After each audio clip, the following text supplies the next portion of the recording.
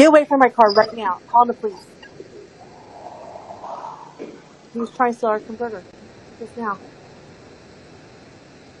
Yeah. Someone's trying to steal our converter off our car. Isn't that crazy?